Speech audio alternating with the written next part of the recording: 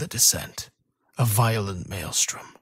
Nature has a way of bringing the most devious of minds back down to earth.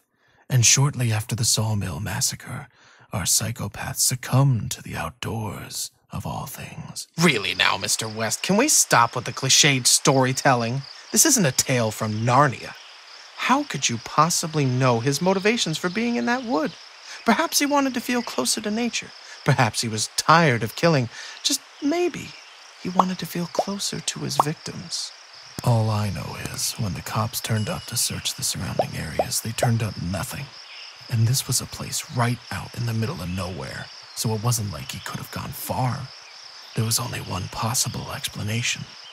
He'd managed to hitch a ride out of there. You think he called the paramedics himself? Well, it makes sense, right? Splatter yourself with some of the blood at a mass murder scene, and the medics aren't exactly going to be picky about who they pick up.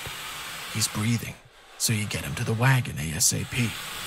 Of course, this particular victim was breathing a little too well for his or their own good. I guess they may be adding a new phrase to the ambulance protocol handbook. Never give drugs to a psychopath.